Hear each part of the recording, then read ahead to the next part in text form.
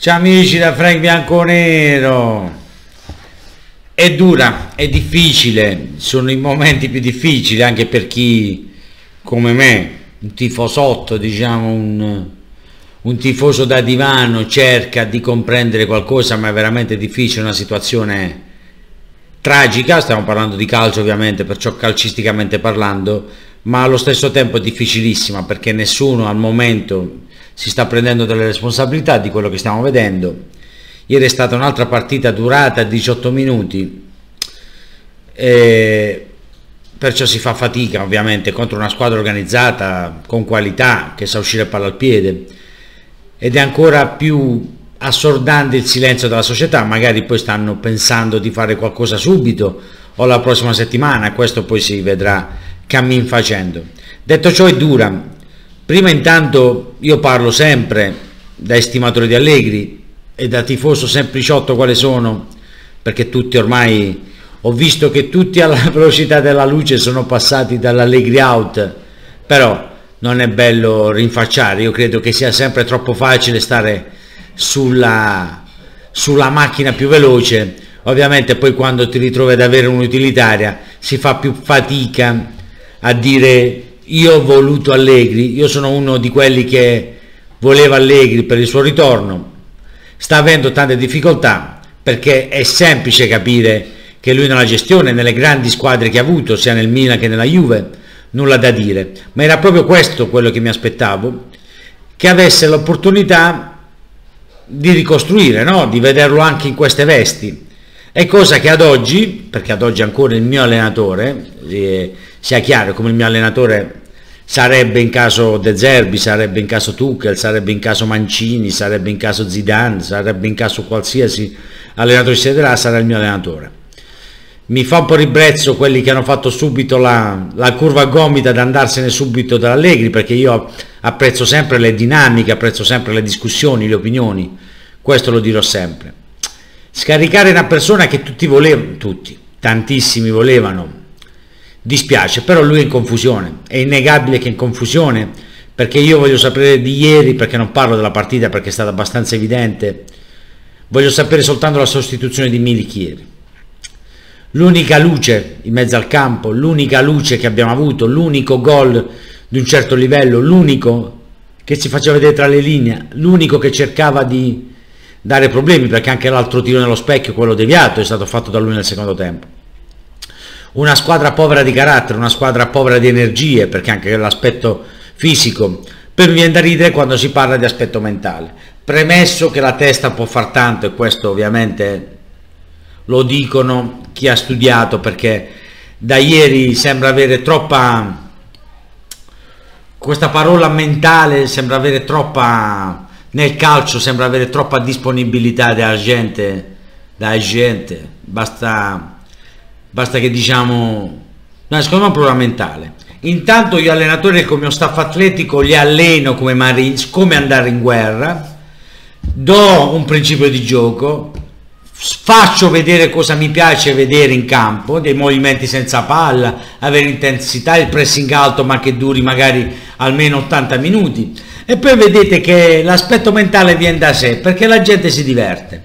Pensare sempre che questi qua, insieme all'allenatore, perciò può darsi pure la proprietà e la società, hanno in questo momento calcisticamente parlando qualche problema mentale. Ma detto ciò, se un giocatore o qualsiasi persona non si diverte, non è l'aspetto mentale, si sta semplicemente scazzando. Perché basta usare questa parola ogni tre frasi, è un problema mentale. Mentale di, che, di cosa stiamo parlando? Mentale di che cosa? Che non riescono a rincorrere un giocatore con la palla e loro dietro sembra che hanno due frigoriferi attaccati alla schiena.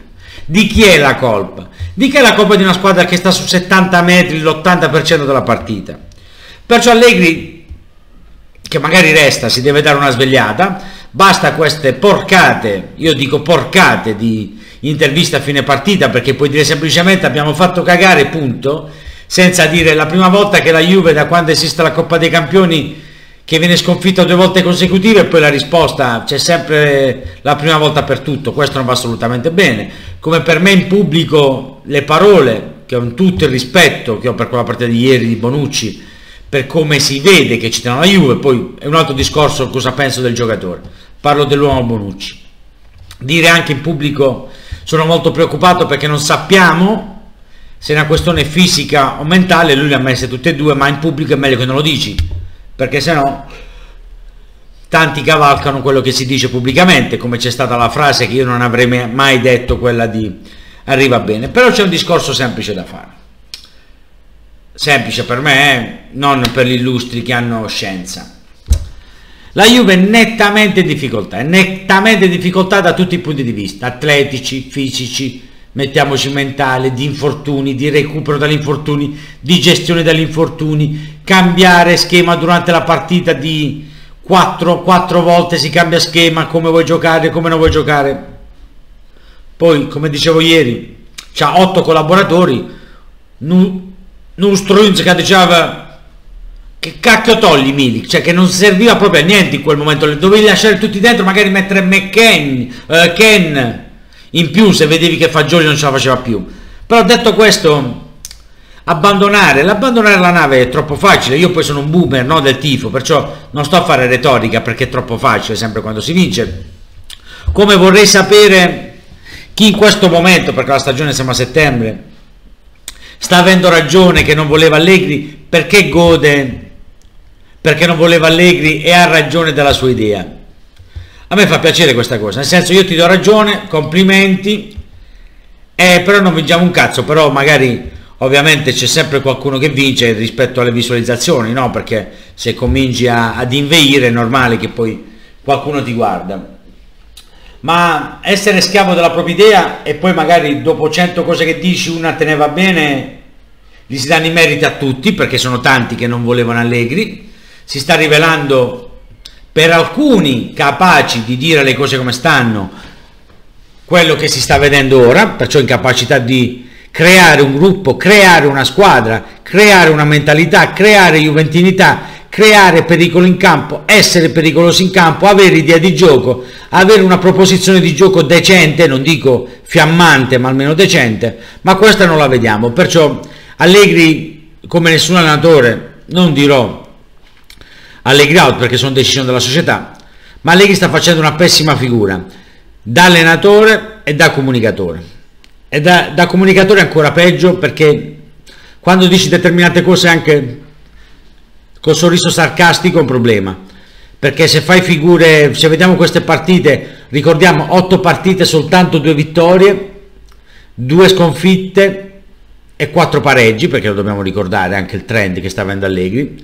Fare questi mezzi sorrisini sembra che prendi per il culo perciò non va assolutamente bene. Se giochi male lo devi dire se non hai idea di come giocare a calcio se ti senti la soluzione del problema lo devi risolvere ma non dopo otto partite o dopo un anno e tre mesi, scusate, perché non è otto partite. Se dici che sei la soluzione, soluzioni non se ne vedono. Se Quadrado non può stare in campo, non lo metti in campo, perché li vedi tu i giocatori. Se McKenna è scappato di casa, lo devi vedere tu. Ti inventi qualcosa, metti altri due giovani. Là nessuno ti può dire nulla, perché giustifichi il fatto che c'è gente che non merita di stare in campo.